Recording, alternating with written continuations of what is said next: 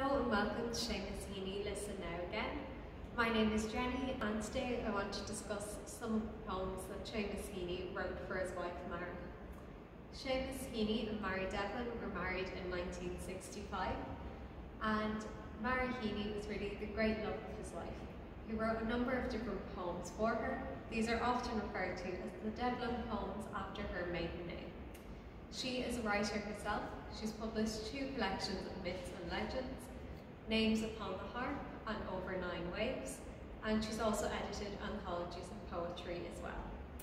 And Seamus and Mary Heaney had three children together, Michael, Christopher and Catherine Anne. The first poem I want to talk to you about is Twice Shy, which is a poem that Heaney wrote about the very early days of their relationship.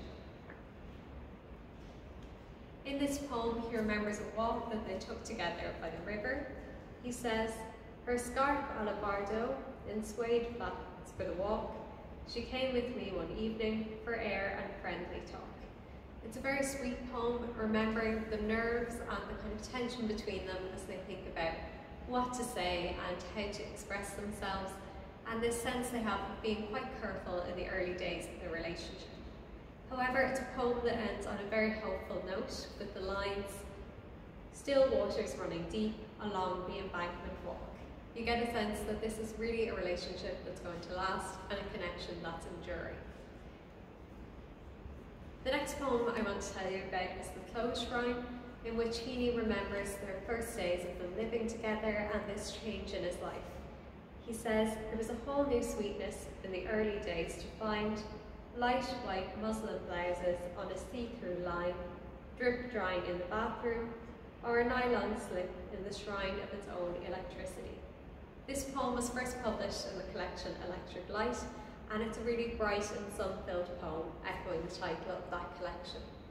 It's a poem where he makes a connection between his wife and St. Bridget. At the end, he says, unstoppably on the go, the dun and slump and unfair drag of the working day got through as usual brilliantly. You get a sense of his real admiration for Mary and for the work she was doing raising their children, but also teaching as well. These are only two of the many love poems he wrote for her. If you'd like to learn a bit more about some of those, you can check out Sophie's poetry guides, particularly the ones on the Underground, the Skunk and Tate's Avenue.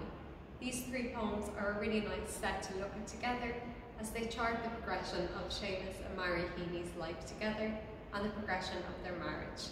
And I hope that you'll enjoy them.